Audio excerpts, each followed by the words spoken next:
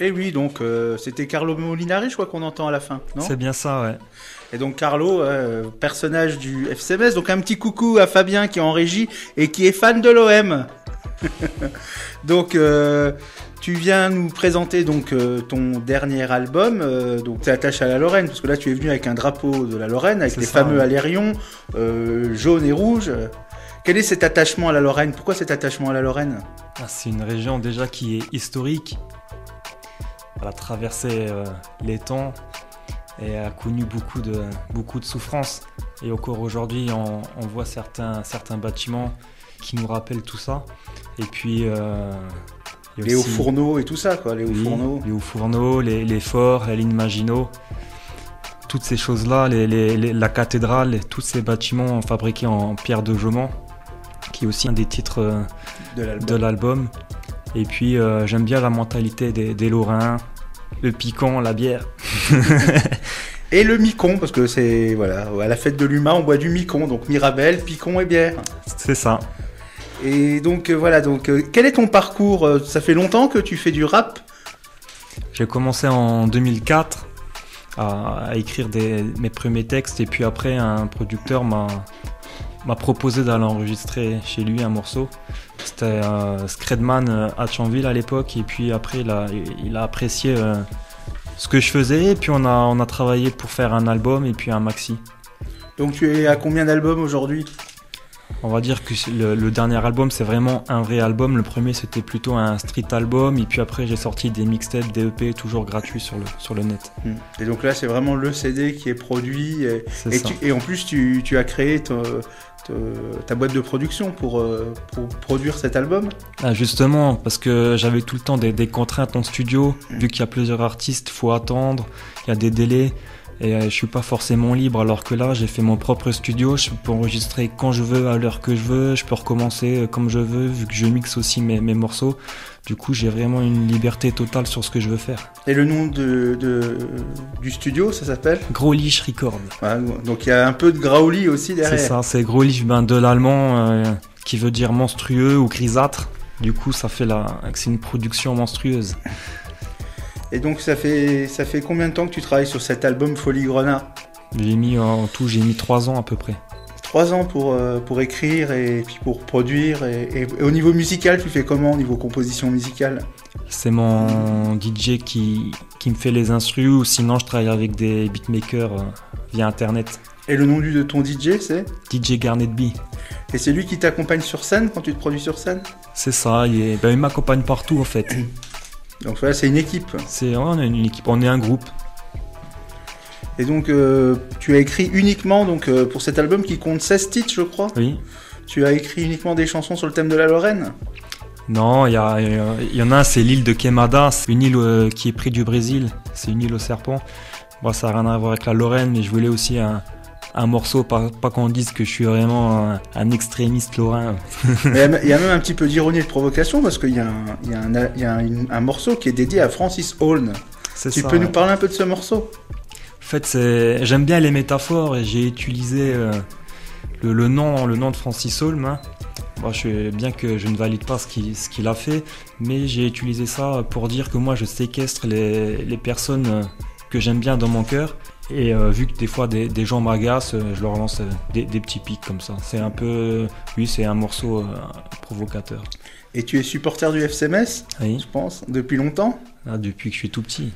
Hmm, ben, ici, on a bien parlé du FCMS et notamment la chanson Grenade Tada. Ça évoquait des choses pour, pour nous à Radio Aria, puisqu'on on a interviewé récemment un des héros euh, qui est Alain Colombo Mhm. de, cette, de ce match, dont un stade, euh, depuis le 1er septembre de cette année, porte son nom à Longwy.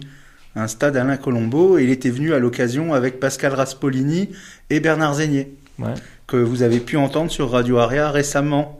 Votre radio transfrontalière, la radio qui vous fait du bien aux oreilles. Et comme on veut se faire du bien aux oreilles sur Radio Aria, on va écouter un deuxième morceau de Risbou Graouli. A31, alors euh, on, on dédie un peu cette chanson à tous les pauvres frontaliers qui prennent cette autoroute de galère pour aller travailler tous les matins. C'est un peu ça. C'est ça.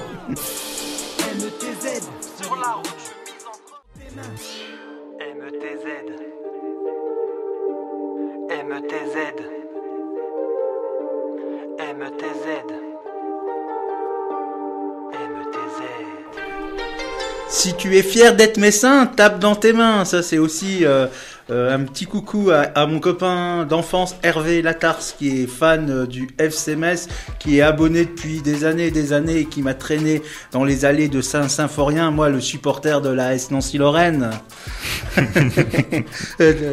Je t'avais même pas dit ça. Et donc euh, voilà, donc euh, Risbo Graouli, où est-ce qu'on peut se, se procurer cet, cet album? Faut venir me voir en, en concert ou m'envoyer un message et puis, et puis après on, on boit un coup et puis, puis je donne l'album. J'aime bien cet échange avec le public. Et donc on peut te retrouver où sur le net? Faut taper Risbo Graoli, puis on tombe sur tout. Je suis sur YouTube, sur Twitter, sur Snap, sur Instagram, sur Facebook, un peu, partout. Eh ben tu l'as dit, il n'y a pas simplement un album, il y a aussi de la scène, puisque je regarde donc dans le dossier de presse, tu as fait les premières parties de Tonton David, Youssoufa, Gizmo, H Magnum, Théo Fan, Osfi et plein d'autres. Ouais. Et C'est important justement quand on fait un album de le défendre euh, sur scène en sachant qu'on peut se permettre de nouvelles libertés, de restructurer les, les morceaux et puis d'avoir directement le- les, les- les réactions du public. Et en plus, tu as un clip où justement il y a, y a des noms que j'ai déjà cités, puisque dans ce clip, on peut retrouver euh, Stéphane Borbiconi, Bernard Zégnier, euh, et puis bien sûr le fameux Carlo Molinari. Ouais, bah ça c'est mon, mon DJ qui avait tout géré, m'avait fait la surprise, moi j'étais pas au courant. Il m'a dit cet après-midi je pars en tournage, je te dis rien, et puis euh, demain si ça se passe bien tu auras une belle surprise. Et puis il est revenu, il m'a dit euh, voilà regarde les vidéos, puis j'ai regardé, puis je fais ah ouais quand même. Et après il m'a dit euh, bah là on va aller chez Carlo, on a un rendez-vous. Et le clip, on peut donc le voir sur YouTube? Sur YouTube, ouais, Folie Grenat. Et euh, bah, comme le éponyme de, de l'album, Ouais. Folie Grenat, donc avec euh, vraiment beaucoup de morceaux, puisqu'il y a des titres comme Scrogneux, euh, Chakalaka. Tu peux nous parler un peu de ces, ces morceaux? Ouais, Scrogneux, c'est un morceau euh, caricatural. Je me moque un peu du, du rap commercial. Donc c'est un morceau avec un texte qui est très faible, avec de l'autotune, un peu, un, un peu des bêtises par-ci par-là. Et puis Boom Shakalaka Boom, c'est un morceau qui parle de ma bonne humeur. Voilà, c'est un peu l'opposé. C'est un morceau qui est bien, bien hip-hop, à l'ancienne, comme j'aime. Et ça parle de, de choses positives. Et Belle et Ben, c'est une chanson d'amour? Belle et Ben, non, c'est un morceau que j'ai fait pour défendre euh, les femmes, et en particulier les, les femmes d'Afrique, parce que j'ai trouvé qu'il y avait des, des polémiques qui étaient un peu bêtes euh, dernièrement et que pas beaucoup de personnes prennent position, donc j'avais voulu faire ce morceau-là. D'autant plus que euh, je voulais faire un titre avec un artiste du Cameroun, donc ça, ça tombait à pic. Et euh, qu'est-ce que tu penses des polémiques actuellement sur le racisme dans les tribunes et l'homophobie? On parle, on parle d'homophobie dans les stades alors que ça fait des années que c'est comme ça et qu'il n'y a, pas d'homophobie. Moi je suis euh, dans, dans une tribune euh, où il y a un cop qui se proclame antifasciste. Donc euh, c'est- bizarre d'arrêter des matchs pour ça, sachant que la Coupe du Monde ça va se passer au Qatar et que là-bas euh, c'est interdit l'homosexualité. Donc je trouve que c'est un peu de l'hypocrisie. Il y a des problèmes justement comme le racisme où, on n'arrête pas des matchs pour ça. On entend des cris de singe parfois et on laisse euh, comme si de rien n'était. Donc je trouve que c'est vraiment de l'hypocrisie. Et il y a un travail dans les clubs de supporters pour éviter ces slogans qui sont quand même des insultes homophobes. Même si au départ les gens qui les disent ne, ne pensent pas à ça, mais euh, Oui, bien sûr. Après, il y a- il y, a du folklore. Quand, euh, quand on dit euh, la ligue va te faire, en, va te faire, voilà, Ouais. c'est pas, c'est pour moi, c'est pas de l'homophobie, c'est du folklore. C'est après, il y a des groupes qui sont, qui sont politisés, des groupes d'extrême droite. Donc ces groupes-là, euh, ils, ils assumeront ce qu'ils veulent dire. Et tu parlais de la Horda, c'est ça quand, Ouais, ouais. quand tu parlais de, du groupe tant décrié dans les tribunes, euh, qui est un groupe euh, antifasciste. Quoi. Ouais, antifasciste. Donc euh, oui, voilà, donc euh, tout un programme, tout un débat aussi. Et effectivement, je pense que ça serait mieux si au lieu de, de se crier des insultes, euh, on se criait des mots d'amour. C'est un peu ce, le message que, que portait Bernard Zégnier Hmm, par rapport à la rivalité, notamment Nancy-Metz, ouais. en disant que pour lui, ce qui est important, c'est que les deux clubs soient en L1 et que c'est normal qu'on chambre un peu lors des derbies, mais que le reste du temps, c'est qu'il y ait un fair play, que les deux clubs lorrains se, se, s'auto-soutiennent. Oui, bah justement, j'avais échangé avec lui. J'ai eu la chance de le rencontrer, c'est ce qu'il me disait. Il me faisait, ah, c'est, bien la musique, mais il faut arrêter de taper sur Nancy, il faut soutenir les deux clubs, c'est des clubs lorrains. Sauf qu'après, la, la guerre entre Metz et Nancy, c'est pas que le foot, et puis ça existe depuis des années et des années. Et c'est qu'une euh, continuité. Mais après, oui, il faut savoir faire la, la part des choses. Moi, je sais que je pourrais travailler avec un artiste ancien, ça me dérangerait pas. Et alors d'ailleurs, quels sont tes prochains projets? Donc déjà, c'est porter cet album. T'as des dates déjà de prévues sur scène? Il y a, des dates là, a- je vais aller à Saint-Etienne justement voir le match et euh, il y a un bar où je vais me produire. Et puis euh, il y aura une date d'anniversaire pour la sortie de l'album. Et puis euh, tout le long de l'année, oui, encore des dates. Je mettrai à chaque fois euh, sur les réseaux sociaux. Donc page Facebook et tu as aussi un site internet? Euh, ouais, je- ouais, mais je sais plus parce qu'il n'est pas à jour. Mhm. je, je, je sais plus l'adresse. Donc vaut mieux aller sur la page Facebook Voilà. ou t'as d'autres euh, réseaux sociaux où tu es présent? Instagram, Snapchat, Risbo, Graouli à chaque fois. Donc voilà, on, on s- on va suivre Risbo Graoli et puis ben, je pense que régulièrement euh, vous pourrez entendre des morceaux de Risbo euh, Graoli sur euh, Radio Aria 99.6, la radio qui vous fait du bien aux oreilles et puis comme ça on se rend compte qu'il y a quand même du rap qui, qui veut dire quelque chose. Ouais, mais votre radio a toujours été présent à, à chaque fois que à chaque fois que je suis venu, m'avez toujours ouvert la porte et puis euh, à chaque fois vous faites un, un beau travail, donc c'est vraiment un plaisir de venir ici. Et en plus je crois que t'es collègue puisque tu animes une émission dans Radio Blé. Ouais, radio BLE. BLE, voilà. Et d'ailleurs, c'est rigolo parce qu'on a parlé récemment de BLE. J'étais en, en- en voyage en Moselle-Est du côté de Boulay-Bouzonville. Mhm. Et en fait, euh, l'association qui organise un festival de contes où je vais me produire puisque je suis conteur, me parlait de Radio BLE. D'accord. Donc, tu veux nous parler un petit peu de Radio, de radio BLE C'est une web radio, hein, je crois. C'est une web radio, on a l'ambition d'être une, radio FM euh, au fur et à mesure.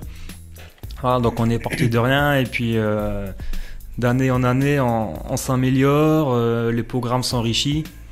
Et puis euh, vous verrez même là pour la rentrée, il y, a- y y plein de nouvelles émissions. Et puis moi je tiens l'émission bah, avec mon, mon DJ encore, euh, DJ on fait une émission musicale. Et vous êtes basé où euh, À Clouange. À Clouange, d'accord. Et on, on peut vous retrouver en tapant BLE euh, radio, Radio officielle sur Facebook.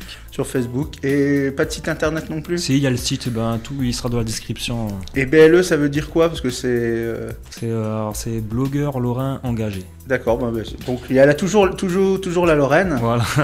Et voilà, et puis ben, comme tu dis, t'aimes bien la convivialité, t'aimes bien échanger, t'as dit euh, on- je donne mon CD autour d'un verre. Et ben nous, on va terminer euh, par euh, la chanson euh, Amos. Avant, je vais te demander que tu nous parles un peu de cette chanson. Alors Amos, c'est la bière emblématique euh, de Metz. Ouais. Donc moi je pense que c'est bien de finir cette interview en trinquant avec une, avec une bonne bière, à boire bien sûr avec euh, modération. Donc peux-tu nous parler de pourquoi Amos? Bah, Amos, c'est la bière de Metz. Le, le fameux Gambrinus, au fait, c'est, il a fait un pacte avec le diable pour créer ce- cette bière Amos. Allez voir sur internet l'histoire, c'est, pas mal. C'est là, quand on parlait de c'est aussi les choses comme ça. Il y a, l'histoire du Graoli, avec Saint-Clément, les, les histoires avec Gambrinus, c'est des, des légendes que, que j'apprécie. Et donc, c'est un morceau, euh, tout simplement, que j'avais fait parce que j'aime, bien, bien la bière. Et puis, pareil, il y a aussi euh, un peu de décalage et de second degré dans, dans ce titre-là. Voilà, donc- c'est tout des choses que tu évoques dans cet album. Cet album ne parle pas exclusivement du FCMS et il parle de vraiment la Lorraine et, C'est ça, ouais. et ton sentiment d'être Lorrain. euh. Et donc pourquoi avoir amené ce drapeau euh, Lorrain dans le studio de Radio Aria?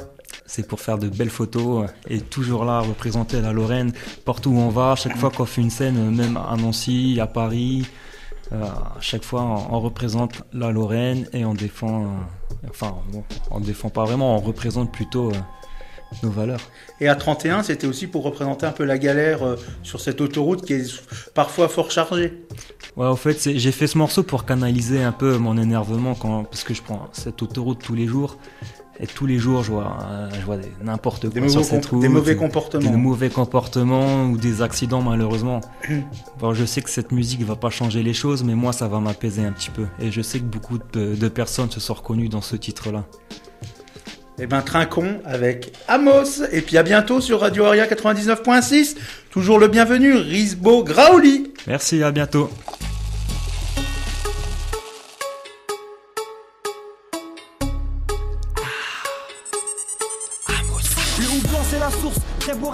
Avant la cartouche.